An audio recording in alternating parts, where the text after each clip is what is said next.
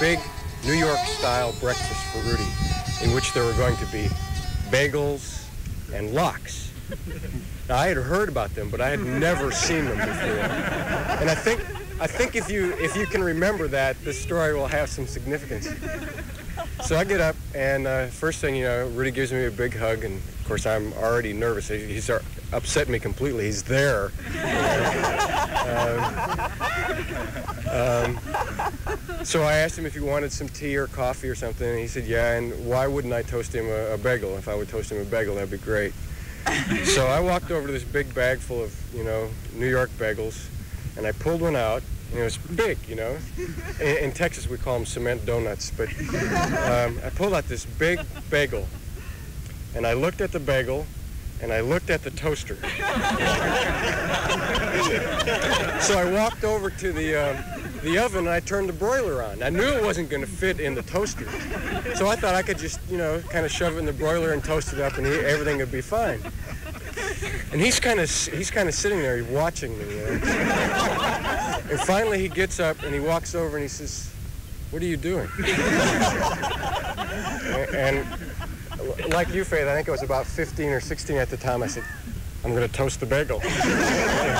he says, he looked at me like, are you for real? You, don't know how to toast a bagel? So he walks over and he pulls out a knife and slices it in half and slaps it in the toaster. So that's how I learned how to toast bagels. Uh, this isn't my story. It belongs to Jane, who, when she started thinking about it, I don't know if you know her, she's a nurse, realized, said that she'd never met Rudi.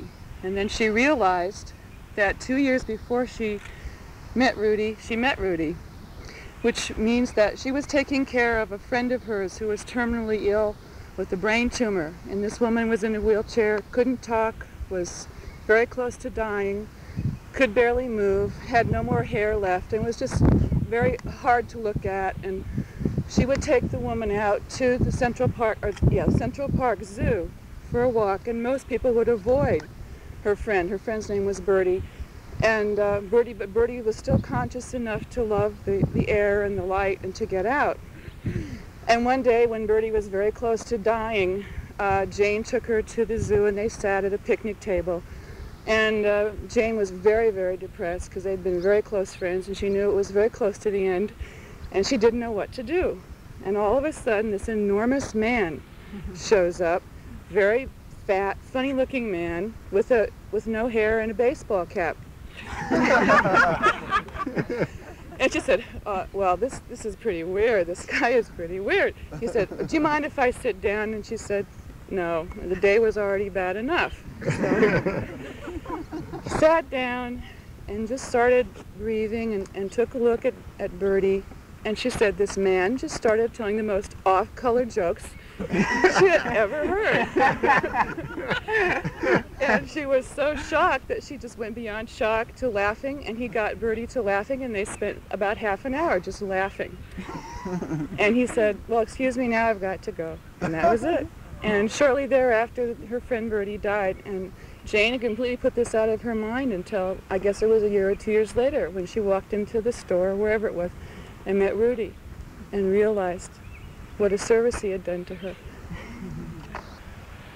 I found myself in Rudi's neighborhood, his store, and dropped by and walked in. I was 17 years old and looked at Rudi and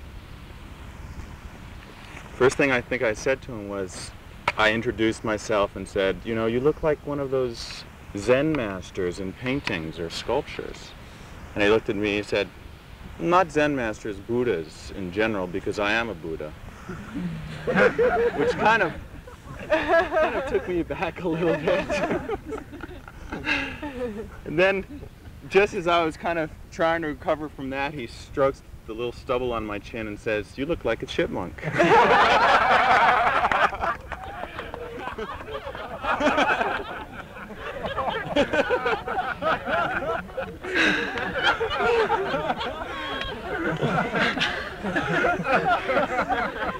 and then I'm walking around his store feeling stranger and stranger, really.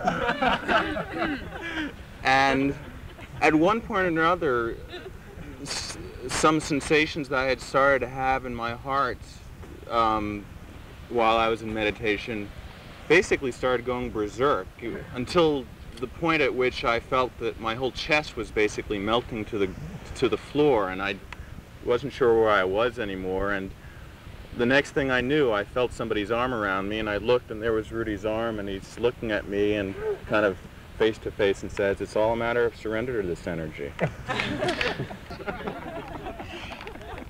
Stewart tells the story about Rudi. He said at one point Rudi uh, looked at Stewart and a few other students and he said, you know, I have a lot to give you guys and if you're not going to take it from me, I'm going to leave it in a Chinese restaurant one night and the guy who sits down in the seat after me is going to burn to a crisp.